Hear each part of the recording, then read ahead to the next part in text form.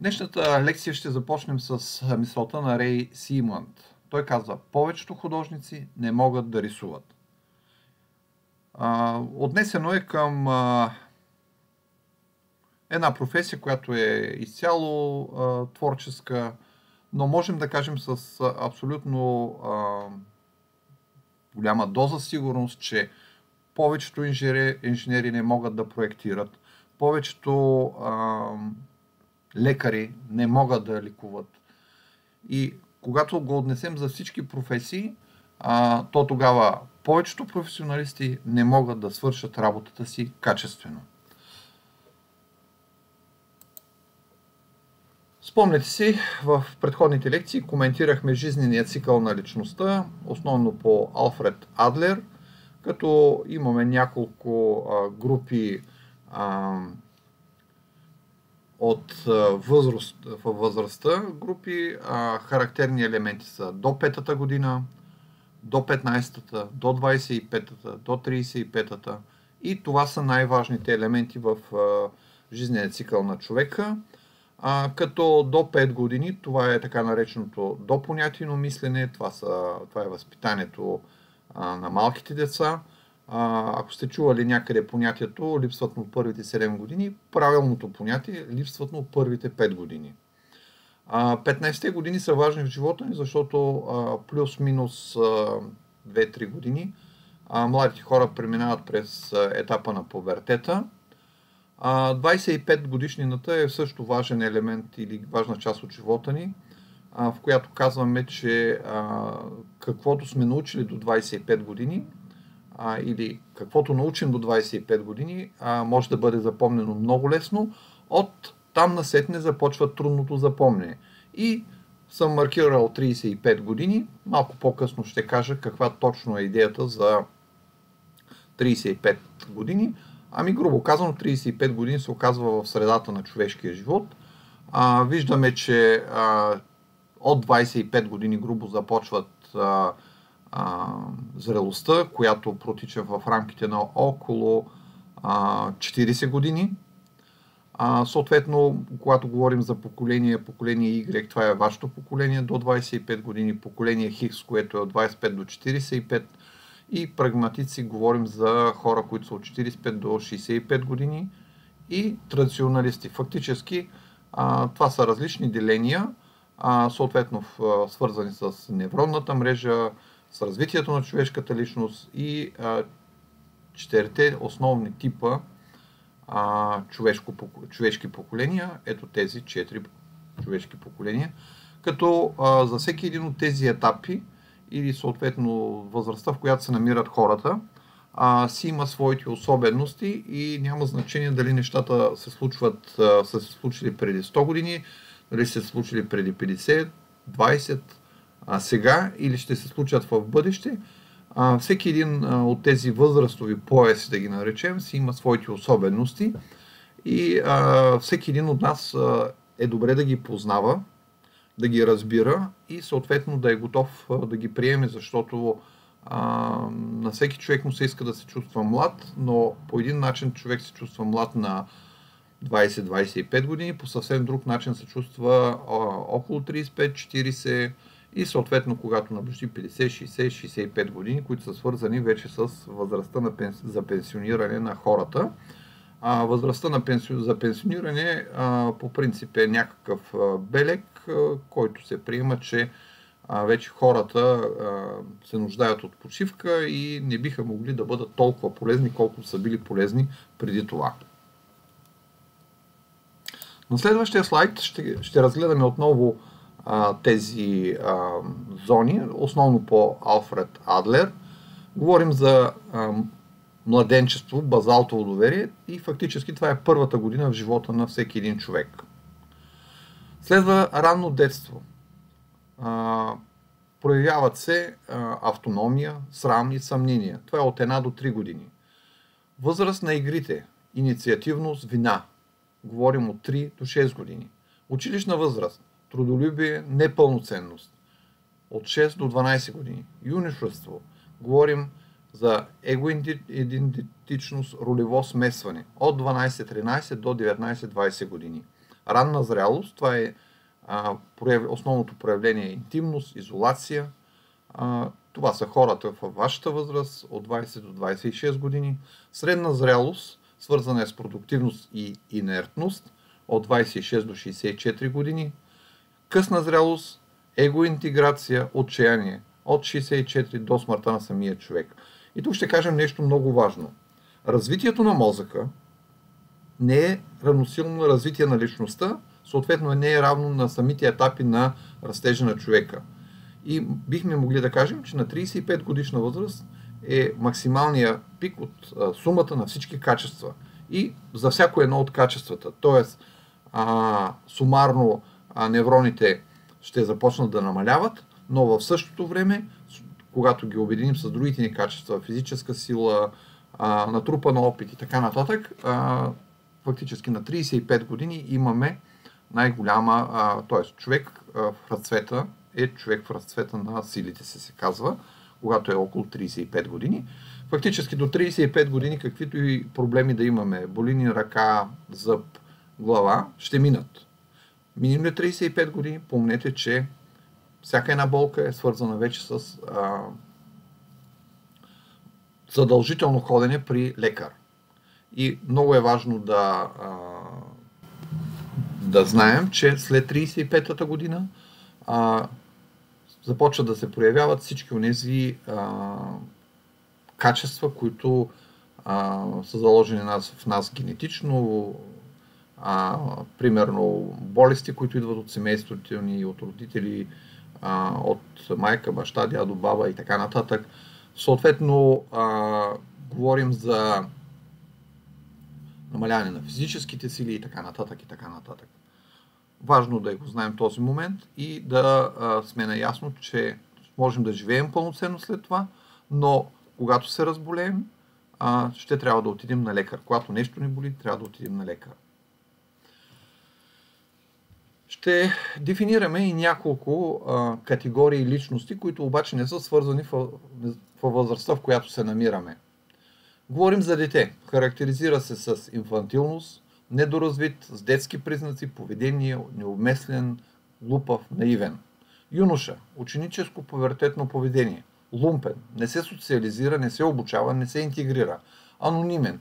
Нискообразован индивид, предопределен да реализира идеите на творческите личности. Образован човек. Това е човека, който произвежда. В момента можем да кажем, че ние сме а, преминали през този период и отиваме към следващата, а, следващото, следващата категория. Това са творците, ние, обаче дали това е истина. Творецът е човек, който генерира идеите и а, съответно другите хора ги реализират. Да кажем за и няколко думи за основните типове интелигентност. Според Хауърд Гарнер има 6 типа интелигентност. И тук ще открием а,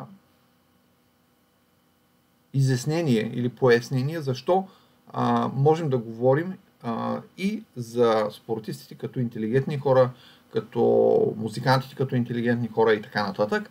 Така че ще кажем първия тип, това е абстрактна, където а, хората а, или мозъка на човека мисли чрез а, символите. Социална, това е а, умението да се общува с хората. Практическа, справяне с конкретни задачи. Емоционална, самоосъзнаване и самоуправление. Естетична, естетическа, усет за форма, композиция, музика, изкуство и литература. Кинетична, общи телесни умения като спорт, танц, музика, пилотиране и така нататък и така нататък. Така че а, вече не говорим за интелигентност само свързана с, а, грубо казано, с точните науки, с математика, с физика, с химия, а, инженерните науки и така нататък, а говорим за по-голяма група от хора, като дори хората, които са основно в областта на а, изкуството, естетиката, а, дизайнери, архитекти, а, художници и така нататък, хора, които създават някакво изкуство или литература, попадат в ето този тип интелигентност, естетическа. Още една класификация, като тя ще бъде дефинирана по Малкълм Голдуин.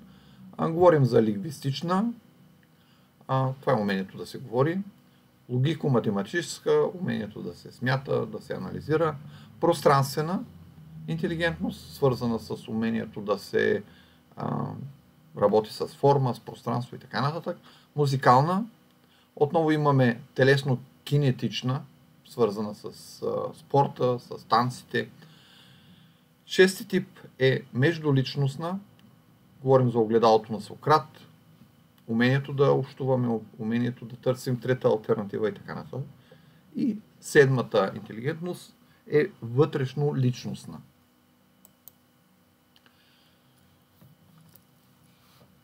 Ще говорим за емоционална интелигентност по Даниел Голман. Само идентификация с другите. Това е определен тип интелигентност, която а, ние няма как да притежаваме, а ще трябва да развием. Това означава, че ние трябва да можем да се поставим на мястото на другите хора. Доказано е, че когато хората мислят, а, те са големи егоисти почти 85% от мислите, които преминават във всеки един от нас, са свързани с самите нас. 10% са свързани с другите хора, но погледнати през нашата призма. И едва по-малко от 5% са нашите мисли, които а, ни карат да мислим за а, събитията, за хората, за другите хора, за другите, а, за обикалящата среда, а, без да го отнасяме към самия, самия себе си. Ще трябва да развием а, интелигентност, която да ни позволи а, много по-малко да мислим а, само за себе си, но не е лошо да мислим за себе си, но все пак, когато мислим за другите хора, а, да се стремим у нези 10%, които а, твърдим, че мислим за другите хора, да го правим през тяхната призма. Тоест, когато а, видите един човек, с който искате да общувате, а, добре е да знаете той как мисли. Добре е да знаете какво той иска, какъв иска да бъде. А, защото когато успеете да разберете какво той иска, как го желая, как го постига, вие ще може да прецените дали си заслужава да общувате с този човек. Защото този човек може да бъде а, част от семейството ви, може да бъде част от приятелския ви кръг, може да бъде част от хората, с които работите, а когато работите, вие ще имате хора, които ще бъдат на вашето ниво като партньори, ще имате подчинени, ще имате управляващи. Така че, когато умеете да се самоидентифицирате с другите хора, разбирате техните желания, мисли и така нататък, то вие ще може да се възползвате максимално добре от а, а, тях, без да говоря за злоупотреби, а т.е. разбирането на другите хора и вземането на решение да работите с тях, ще ви позволява да а, постигате по-високи успехи заедно. И втората интелигентност, емоционална, а, част от емоционалната интелигентност, говорим за търсене на трета альтернатива. А, много често се говори а, за аз умея да споря. Аз съм много добър в спора. Никой не може да ме победи в един спор. Искам да запомните едно важно нещо. Стигнат ли нещата до спор, винаги има една страна, която е загубила. А дали вие сте готови да загубите човека, с когото спорите, ако той е ваш близък, ако той е ваш приятел, ако е ваш колега, а, дали вие бихте желали да загубите този човек? Да, много ясно, че бихте могли да изкарате а, и аргументи, и информация, и да докажете вашата правота. Но запомнете, спора не се ражда истината. Ражда се единствено в края на един спор има един самодоволен участник в спора и един недоволен участник. Понякога се случва и двете страни да бъдат недоволни. Да се окаже така, че нито една от страните не е обидила другата страна. Така че, когато вие се научите първо да се самоидентифицирате с другите хора, вие много рядко ще спорите. Или почти няма да спорите, или ще избягвате да спорите. Когато ви се налага да влизате в спор, ще трябва да търсите третата альтернатива. Това означава, че вие трябва да, да, да сте да разбрали какво иска другия човек, защо го прави това нещо, влизайки в спор с вас и а, да не се опитвате да налагате вашето мнение, ако неговото не е приемливо за вас и ви позволява, т.е. бихте си позволили да го приемете, вие ще трябва да намерите третата альтернатива. Т.е. нещо трето, което удовлетворява и вас, и другия човек. Помнете, че а, при водене на един спор, независимо с кого го водите, след спора може да загубите човека с когото сте водили спора. Може. Вероятността е много голяма. Затова вие трябва да прецените дали това се заслужава. Да кажем няколко думи за а, тестове за интелигентност а, или за тестове за проверка на IQ. А, що е то и има ли значение за нас? По принцип, в момента а, има доста добри тестове, които изследват а, логическата интелигентност. Фактически, когато чуете, че някой а, е член на Менса, а Менса е, е специфичен клуб а, от хора, които са решавали също специфичен тест а, за логическо, а, логическа интелигентност или а, интелигентност на лявото полукълбо, а, то тези хора се твърди, че са с а, висок коефициент на интелигентност и само хората, които притежават а, в проценти 98 или 99% интелигентност, се приемат за членове на този клуб. Тоест, а, приема се, че само 2% от населението а, във всяка една общност притежава такъв висок коефициент на интелигентност, но помнете, че това е тест за логическа интелигентност. Все още няма разработени а, тестове за а, дясното полукълбо, които да изследват а, интелигентността на а, интуицията, т.е. как човек може да използва дясното си полукълбо. По принцип, решаването на един такъв тест, а, участието в едно решаването на един такъв тест, а, би могъл да има важно значение за всеки един от нас, но а, важното е да знаете, ако го решите а, добре и ви признаят висок а, коефициент на интелигентност, това не означава, че наистина сте много умен. Да, умен сте, но не сте толкова много умен, че да се налага да се а, самозабравите. И обратното, ако не сте решили теста и не сте получили голям, а, голяма стоеност, това не означава, че сте глупав. Затова а, самият тест за интелигентност, пак повтарям, на Менса е свързан с логическата интелигентност. Но ние имаме и други видове интелигентности, които все още няма тест, който да, а, да ги измери тези неща. Плюс това, а, теста за интелигентност е, как да кажа, а, моментна проверка на текущото състояние, въпреки че има хора, които са решавали във времето няколко пъти теста, а, такива тестове за логическа интелигентност и се е оказвало, че резултати резултатите им са близки. Така че а, може да решавате тестове, всякакви тестове, особено когато хората са млади, много искат да разберат а, кои са добрите им качества, кои са лошите им качества, дали са умни, дали имат някакви други възможности. А, помнете, че тестовите са правени от хора и няма такъв тест, който да гарантира а, абсолютно, абсолютна достоверност дали вие сте умен, гениален, глупав или идиот. Няма такъв. А, възможно е в определена ситуация човек да не може да достигне до а, високо ниво или съответно да реши а, какъвто и да е тест а, неправилно. Така че а, казахме няколко думи за тестовете за, за интелигентност и проверка на съответно на IQ фактора което е също интелигентност, описание на интелигентност, само че на английски съкръщение. Така че препоръчвам ви, когато решавате тестове, да бъдете максимално спокойни и да знаете, че няма начин тези тестове да разберат дали сте много умни или малко умни. Да кажем няколко думи за изграждане на образи. В тази дисциплина ще говорим много често за изграждане на образи, а в а, обучението ви по, по, по дизайн а, почти всичко е образи.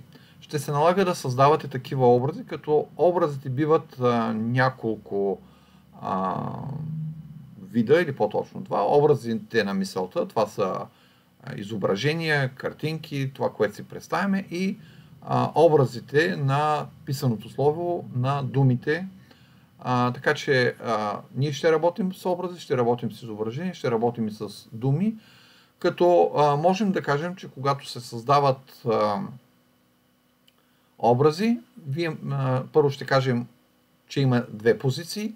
Това е автор, аудитория. Съответно, автора е човек, който създава а, образите, било то някаква постановка, картина, а, графичен дизайн, плакат, книга и така нататък, или а, аудиторията е фактически публиката, като в определени ситуации а, автора и аудиторията могат да бъдат на едно място, автора да представи своята а, презентация, да я наречем, от а, образи на мисълта, картини, текстове и така нататък. А аудиторията може да бъде а, от един човек, може да бъде от много хора.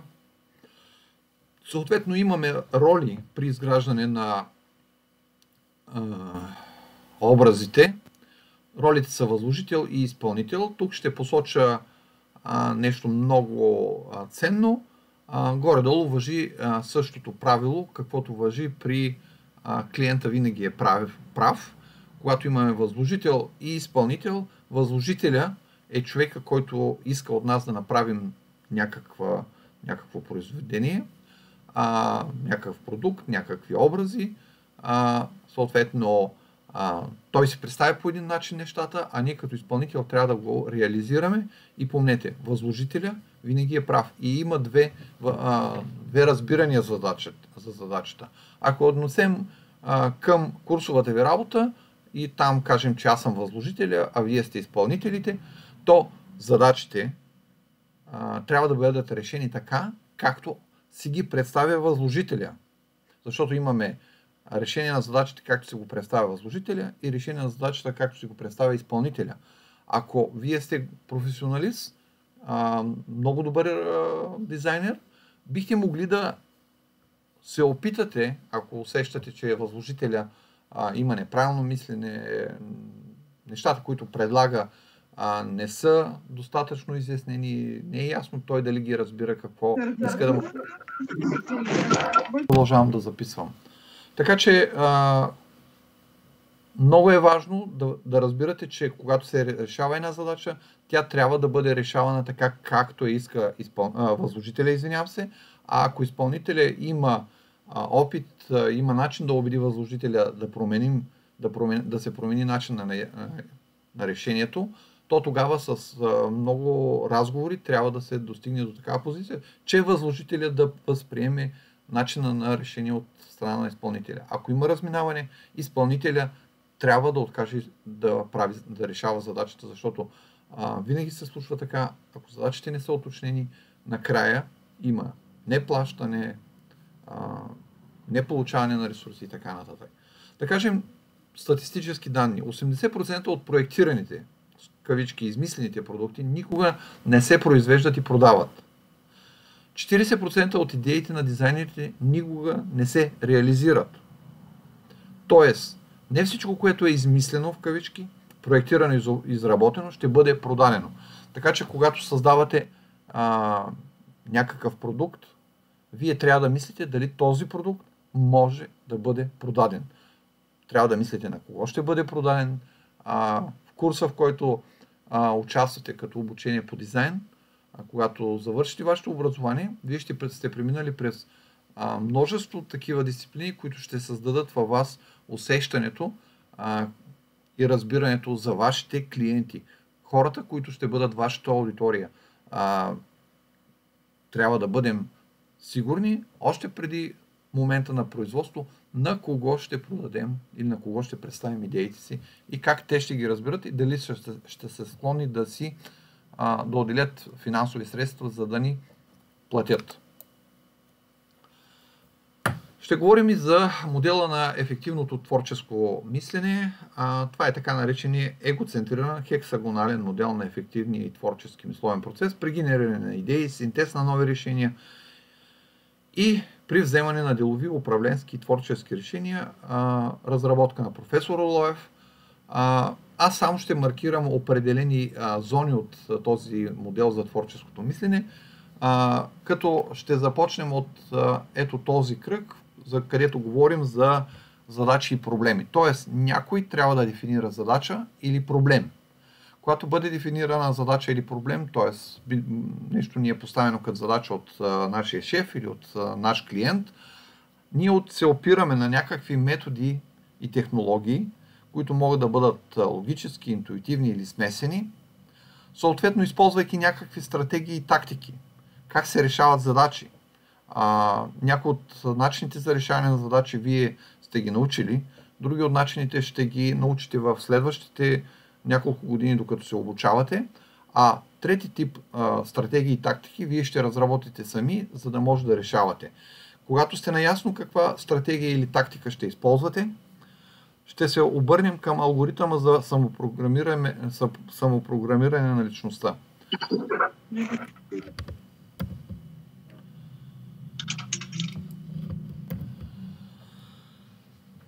Говорим за алгоритъм за самопрограмиране на личност. Това е, личността. Това е нещо, което а, се намира в самите нас. А, начина по който решаваме задачи, начина по който събираме информация, начина по който а, реализираме или генерираме идеи, а, съответно а, алгоритми за, за оценяване и самооценяване на а, решенията. След това отиваме и се обръщаме към основните а, качества на личността. А, съответно, откриваме тези елементи, които ни правят а, максимално добри, а, дават ни възможност да решим по най-добрия начин на задачата. Говорим за основни мисловни операции, които биват логически, интуитивни и евристични и тогава, въртейки се по този кръг, преминавайки в а, различни посоки, защото а, чрез основните логически операции може да окажем влияние а, при дефиниране на задачите и проблемите и при съответно увеличаване на нашите основни качества на личността. Съответно говорим за... А, в центъра, да кажем, се намира нашата личност, която приемаме, че е ефективен човек, творчески, творчески човек, който прилага максимални мисловни елементи, за да реши задачите. А, съответно имаме а, трасиране ос на избора и път към решение, арсенал от банки с данни знания, масиви с информация, стратего-тактически подходи и средства, адаптивност и изпълнение на мисловния замисъл, интелектуална и творческа мобилност, възможността да преминаваме от познати към непознати решения, опериране на опериране, генериране на идеи, анализ и синтез на абстрактно ниво, обработка, разработване на подзадачи, идентификация на общите и частните задачи. А, ако разглеждаме една по-сложна задача, можем да я разделим на стъпки и за всяка една от тях от тези стъпки да, да дефинираме дали са ни познати, дали са ни непознати. Съответно да отидем в посока, в която а, познатите задачи да ги решим по традиционен начин, непознатите задачи да приложим някаква нова технология и нов, нова стратегия. Така че егоцентрирания модел а, е основно за да напомни, че когато решаваме задачи, не е само задачата и нашата личност. Има много елементи, които биха могли да ни помогнат, за да решим задачата по по-добър начин. Когато говорим за ефективно творческо мислене, първо ще припомним а, четирте метода на егономиката или потика, които движат хората, да притежава, да комуникира, да знае, да защитава. И говорим за модел, а, метамодел на нерволингвистичното програмиране, който е свързан с а, а, следната ситуация. Ако приемем, че това е нашия мозък, имаме ляво полукълбо, имаме дясно полукълбо, в лявото полукълбо имаме формална логика, а, в дясното полукълбо имаме интуиция, въображение, фантазия, то тогава, ако имаме някакъв въпрос относно фактологията, подаваме въпроса към лявото полукълбо, а, веднага казваме знае, не знае, отговор, който може да бъде да, не, или верен, или грешен. Съответно, друг вид въпрос, който може да дадем, въпрос заплаха, а, като понякога заплахата генерира емоция – като тази емоция, емоция може да отиде в лявото полукълбо, което да обмени информация с а, дясното полукълбо. И тогава започва а, един низ от а, а, отговори и решения, като може да имаме а, фрактални такива насочвания на мисълта, свързани с някакъв отговор, безопасни отговори, съответно може да дойде от лявото полукълбо, може да дойде от дясното полукълбо, свързано с някаква отбранителна ситуация, като даваме каквито и да е отговори.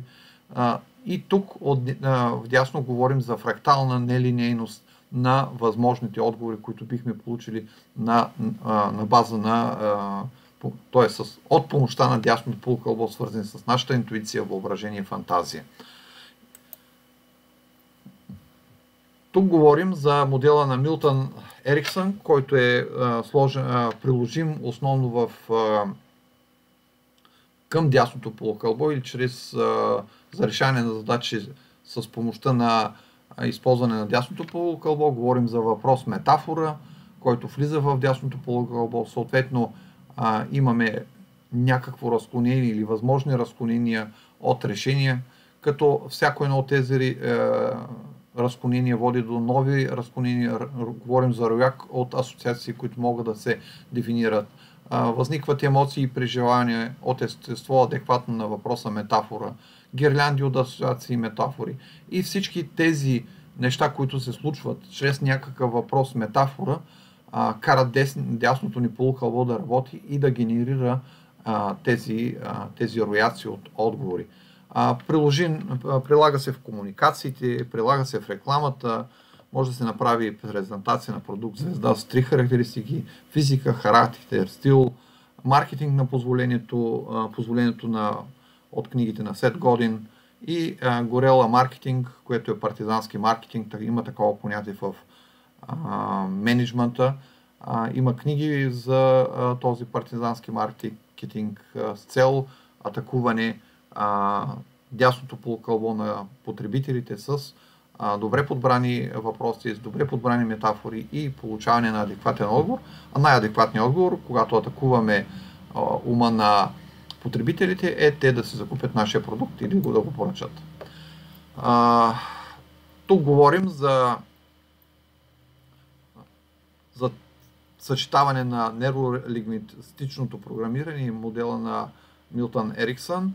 А, тяхното съчетаване, говорим за хипотеза. А, при хипотезата въпрос, информация, проверяваме какво имаме в ума си, имаме тълкуване, имаме отговор, има съглас, съгласуване, несъгласуване с господстваща теория.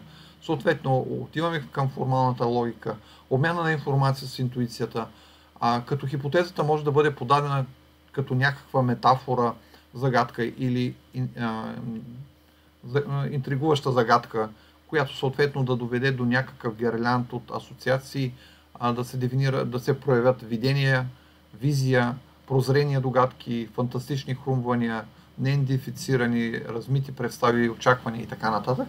Тоест, а, едно, а, една добра работа е когато обедините предходните два метода за съответно за използване и на лявото, и на дясното полукълбо при решаване на проблеми. Спомням си, преди години а, посетих такъв курс за обучение а, за ефективно мислене и а, беше ни казано, ами, когато имате някакъв проблем, а, какъв може да бъде този проблем? А, представете си, че вие сте на мястото на единия предмет. Примерно искате да създадете нов тип капачка за буркани или нов буркан. Или искате а, някакъв продукт, който искате да завиете или да залепите към друг продукт. А, тогава лектора ми, ни каза да си представим, че ние сме един от тези продукти. И да си представим, че сме толкова малки, че а, сме на мястото на било то на капачката или на детайла и да се опитаме да си представим как ще се задържим. Дали чрез винт, дали чрез някакви шлици, дали чрез нещо друго, как ще се задържим и тогава, когато ние си представим, че сме този обект, а, в един момент започваме да мислим а, как бихме могли да решим проблема. А, тук могат да бъдат приложени различни методи. Ние ще ги коментираме, но примерно може да, да говорим за мозъчна атака, а, различните типови мозъчни атаки.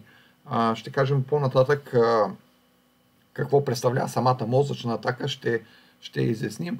А, това са специални методи, при които се събират група от хора, а, самишленици от различни области, на които се поставя задача те се опитват да решат задачата като съответно използват твоите знания и съответно генерират всякакви задачки, видения, прозрения, догадки, фантастични хрумвания, някакви размити представи, някакви глупости, както бихме ги нарекли, но те генерират всякакви идеи, защото може да се окаже, че фантастичните хрумвания, че а, размитите а, представи и очаквания в този момент може да изглеждат така, но след известен период от време, било месец, година, десетилетие, някои от тези фантастични хрумвания могат да се окажат а, напълно изпълними при появата на нови технологии.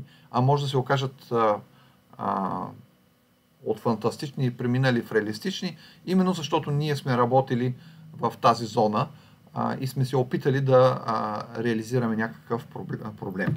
Когато подхождате към проблемите, трябва да се научите а, първо а, да се отделяте от същността, от тяхното физическо изпълнение, защото ако в момента а, споделя думата двигател, а, нека всеки от вас да си, направи, да си представи двигателя. Какво представлява двигател?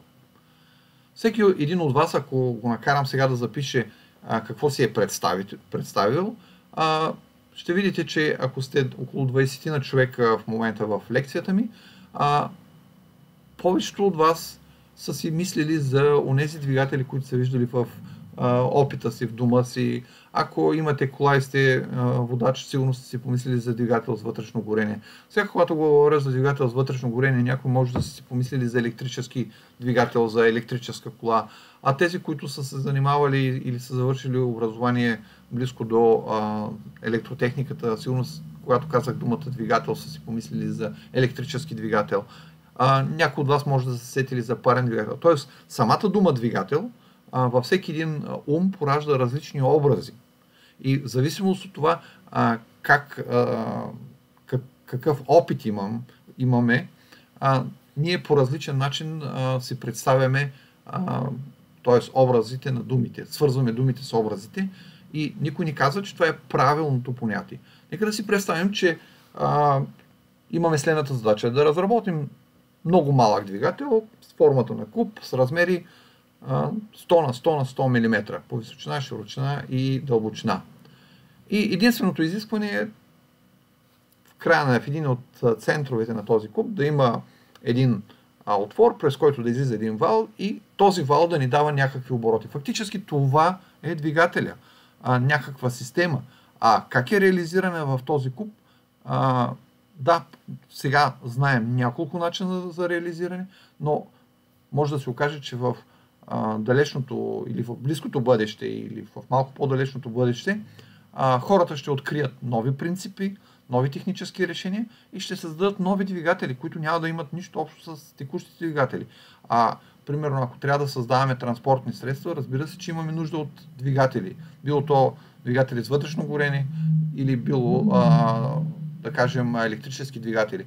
Ами ако се окаже, че разработим друг вид двигател, който е много по-малък, а представете си, ако разработите такъв двигател и той е с малко отделение на, тем, на температура, съответно може да работи при всякакви условия, а, то ние бихме могли да създадем такъв двигател и да променим концепцията за автомобила или за транспортните средства, като транспортни средства. И може да се окаже, че транспортните средства на бъдещето няма да имат нищо общо с транспортните средства, които ние познаваме в момента.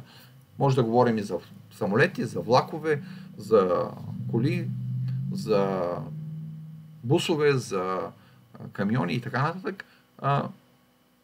Първо трябва да определим за какво ги използваме тези транспортни средства и как ще реализираме новата идея. Да, всеки един от нас би, би избрал да, да реши да прави автомобил с, да кажем, с хайде сега е модерно, електрически двигател. Ще намерите електрически двигател, ще намерите батерии, ще намерите а, съответно как се прави електрическата схема, как се прави електронната схема, която управлява всичко това и ще създадете един автомобил, но този автомобил ще бъде базиран на досегашния опит на хората. А ние трябва да се стремим да решаваме ето тук, в тази зона, да имаме видение, визия, прозрения, догадки и така нататък. Тоест трябва да обучаваме а, мозъка си. За да обучаваме мозъка, Тук ще ви припомня за, за зоните на Вернике и Брока, като говорим за ако настъпят някакви проблеми, зоната на Вернике, която е ето в тази зона, ето тук тези петна, това е зоната на Брока, то Вернике е свързана с разбирането, с чуването, а зоната на Брока е свързана с изговарянето. Когато речта се излъчва от центъра на Брока към центъра на Вернике, т.е. когато говорим, ние слушаме и разбираме собствения си глас и думите, които казваме. Чрез речта ние изграждаме също изражение, а, изграждаме образи. Принцип похвати за методи за говорене. Дизайнерите постоянно говорят, презентират пред свои възложители, оценители, клиенти, партньори и така нататък. Демостен е бил пелтек, заеквал, но със силата на волята се научил да говори без заекване. Така че, а, освен, че трябва да се научим да говорим без заекване, когато се изправим пред хора, трябва да се научим да говорим правилно и това е много важно, когато искате нещо да разберете или да научите. А, примерно го четете в някакъв учебник, някаква книга, в интернет. Ако искате да го запомните, най-лесният начин да четете на глас. Защото когато четете на глас, то тогава от зоната на брука към зоната на вернике се излъчват сигнали. Т.е. вие а, от очите, а, извинявам се, а, от очите отива, а, получава информация в а, зоната на вернике, но ако вие четете, а, то тогава ще излъч, излъчвате и говор и тогава зоната на вернике ще а, обработва и получения звук. Така че образите ще се настаняват трайно в а, нашето съзнание и по-лесно ще ги запомним и ще ги използваме. Да кажем няколко думи за комбинаториката, а, тъй като а, към края на лекцията ще ви дам пример за а, комбинаторика и съответно ще ви а, изведа задачата, която имате да решавате, трета задача от курсовата ви работа. Така че комбинаториката е умението да а, съчетавате два или повече обекта. Комбинирането на два или повече елемента, форми, обекти, функции, идеи, материали, цветове, сфери, процеси, явления, системи и така нататък е съчетание, при което два или повече елемента не губят своята автентичност, характеристиките и атрибутите си, а напротив, трябва да бъдат извини силните страни всеки един от тези елемент, като се създават най-подходящи условия и предпоставки в оптималното им съвместно действие или въздействие, включително нови ефекти от съчетаването им. Важно е да се поясни кое прави комбинирането, комбинаториката не само интересна, но и много сложна и трудна творческа задача. Необходимостта да се постигне баланс между голям брой, равнопосочни по качествени и количествени измерения аспекти и фактори. Брой на комбинираните елементи. Минимум 2. А, в интерес на истината, а, комбинаториката ще бъде нещо, а, с което вие а, още в следващия семестър ще се сблъскате по а, теория на композицията и там ще видите какви а, технологии а, има за тяхното използване. Ние тук само ще ги а, загатнем, а като основната задача ще бъде свързана а, или развитието на комбинаториката, а и на други качества ще бъдат реализирани и развити в а, теория на композицията. Брой на комбини... комбинираните елементи 2 или повече. Геометрична форма и големина на елементи, включително обемно-пространствена структура, стайлингов тип, призматични паралепипедни съндъкообразни. Това са самите стайлингови типове. А, нещата, които са с теренца, са а, стайлингови типове. Тоест формите могат да бъдат призматични, паралепипедни, съндъкообразни. Друг тип са пинообразни и конусообразни. Могат да бъдат стъпалообразни, могат да бъдат пластични, обтекаеми или да бъдат скулптурирани – Говорим за единство, е, единство на характера на формите.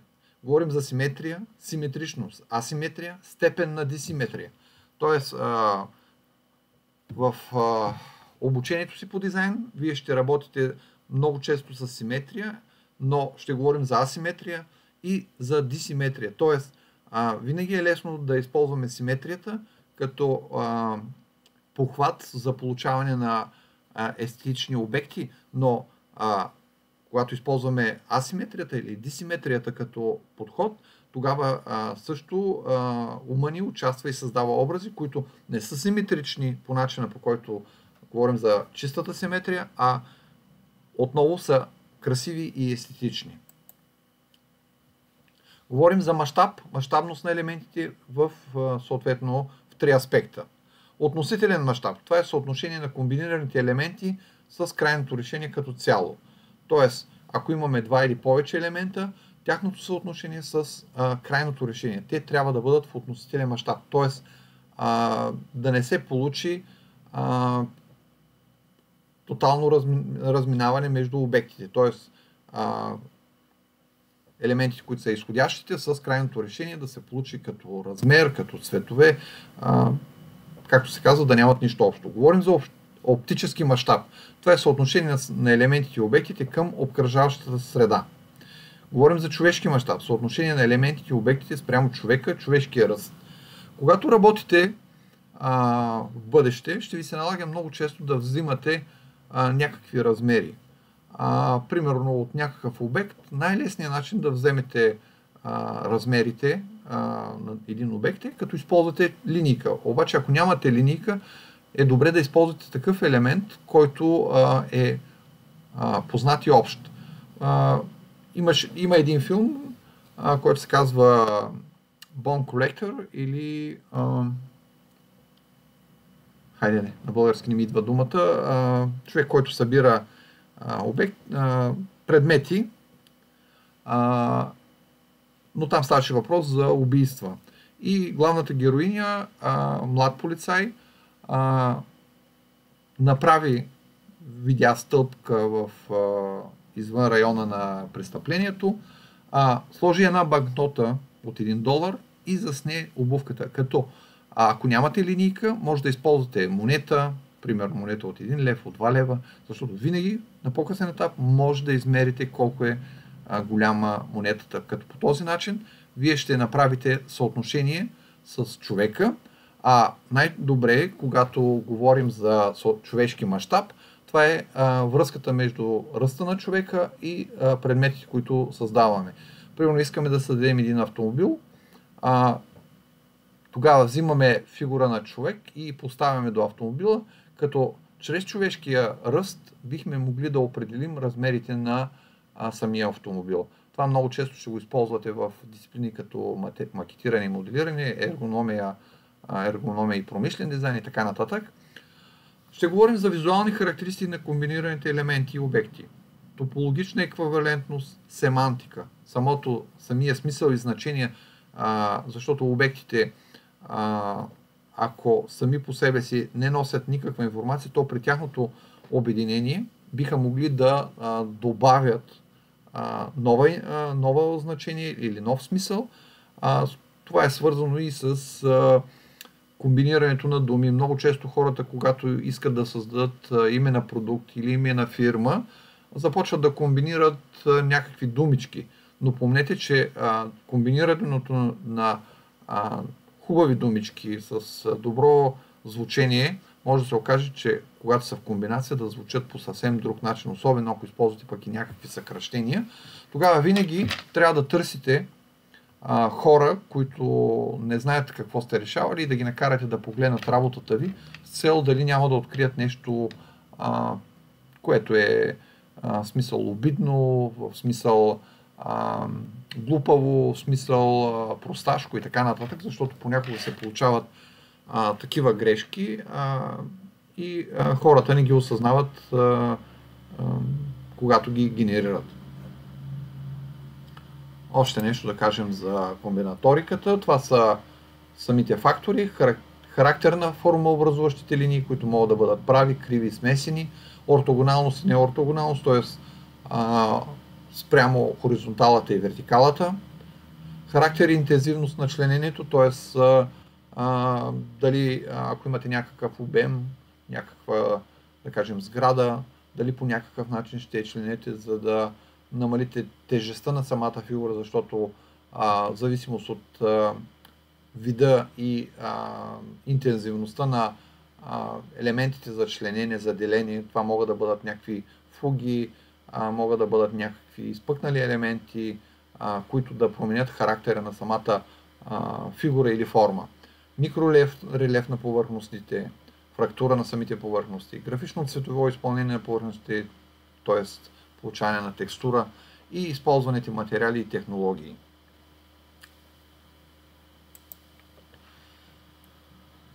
Фактори свързани с основни принципи на самата композиция.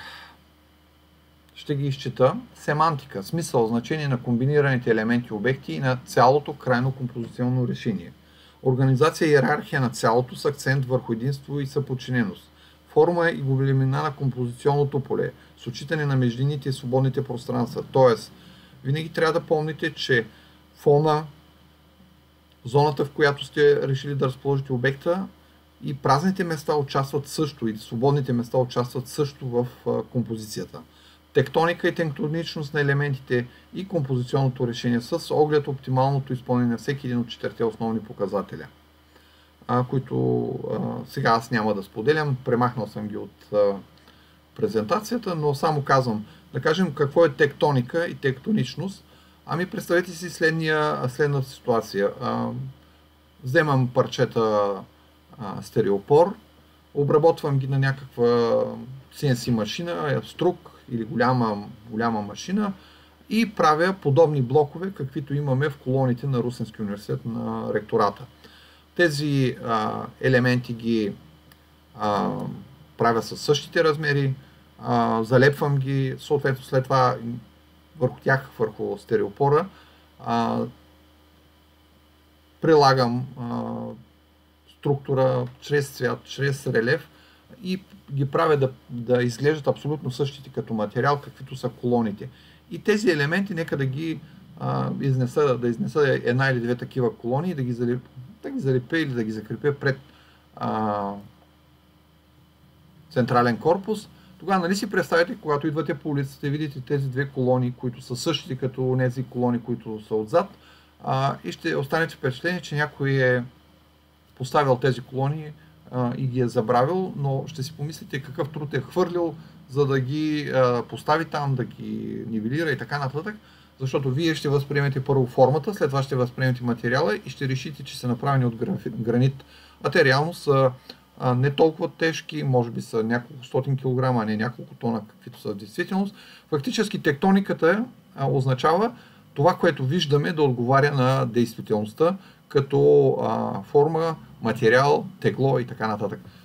Тоест, ако аз видя една такава арка, изработена от стереопорно боядисана с цветове или структура на гранит, ще остана с, като възприема, ще остана с впечатление, че това е наистина гранитна композиция. Така че, когато създавате обекти, бихте могли да използвате тектониката или съответно цвят, форма, структура, за да имитирате други повърхности и други материали и така нататък, като по този начин а, карате хората да възприемат по друг начин това, което сте създали. Реализация на основни принципи за хармонично обединяване на, и, на композиционни елементи, включително пропорция, пропорциониране. Ще говорим след около 3-4 лекции за пропорция, пропорциониране. Ще говорим за разпределение в равнина или пространство, а, констелационна схема е наречено. Ще говорим за материални и визуални връзки. А, необходимост от елементи и решения, компенсатори, т.е. когато решаваме някаква задача, ще се налага да присъстват и допълнителни елементи, които играят някаква компенсаторна роля. Композиционен център, акцент, акценти, които поставяме, композиционен фон. Много често ще се налага да мислим и за фона, на който се развива нашата идея. Обосновка и изпълнение на адекватна конструктивни функции, т.е. как ще реализираме продукта, нюанси и нюансни доработки. Цвят и цветови решения, обкръжаваща среда, светлина и светлосянка, осветеност. А, има цяла дисциплина, която а, ще изучавате свързана с светлината и осветеността. Тоест, никога обектите не са не трябва да ги възприемате като нещо статично от гледна точка на осветяването им. техните сенки, техните отражения и така нататък. И задачата, която трябваше да решите, трета задача е свързана с разработване на две матрици. Едната матрица е едноименна равнораменна матрица. Това означава, че избирам няколко обекта, в случая молив, човек с рога, цел и стена с туалетна хартия или самата туалетна хартия, като ги разполагам и по хоризонтала, и по вертикала. И тогава в ето тази зона се опитвам да получа някакви решения, като комбинацията на обектите може да бъде буквално, плюс добавяне на някакъв елемент, или може да бъде, ще видите по-нататък, ще ви покажем и други решения, могат да бъдат и съответно чрез някаква прилагане на някакви ефекти, един от обектите да бъде по-малък, другия да бъде по-голям, усилване на единия, намаляване на другия. Ето тук имаме замяна, замяна на рогата с а, моливи, съответно молив с мерник, молив, който, през който минава като игла, минава туалетната хартия, все едно ще извършва шине и така нататък. Тоест всички тези резултати са получени при комбинирането на тези обекти. Но обърнете внимание, тук имаме комбиниране на този обект, да кажем човек с рога, с молив. Резултатът е един. Тук отново имаме комбиниране на човек с рога с молив. Отговор е съвсем различен. Когато ви избирате обектите, стремете се да бъдат максимално прости, не изпадайте в някакви сложни елементи. Комбинаториката в този вид е свързана, примерно, с умението да създадем примерно фирмен знак. Тогава бихте могли да се опитате да използвате елементи, които примерно някакъв бизнес има или познавате хора, ако имате ваше примерно семейството има бизнес нещо или работят в някакви фирми, опитайте се да тук да поставите онези предмети, които са най-характерни за бизнеса или за това, което правят хората. Когато са твърди различни, каквито са в момента, ще се налага да рисувате ето такива картинки, т.е за да се получи отговора при съчетаването на, да кажем, на човек с рога и мерник, виждате, че резултатът е доста сложен. Да не ви се налага това нещо, избягвайте да използвате хора, животни или ако използвате хора или животни, използвайте повече символи, отколкото рисунки, каквито е направил колегата Боян Петков той е завършил специалността преди, може би, 15 на години, на 15 години. Така че още една ще ви покажа, която е обаче вече е а, с помощта на едноименни разнорамени матрици, при която имаме а, по хоризонталата определени обекти, по вертикалата други обекти, т.е. тук имаме охлюв, да наречем пчела, а, лос, съответно женско лице, чайник и някаква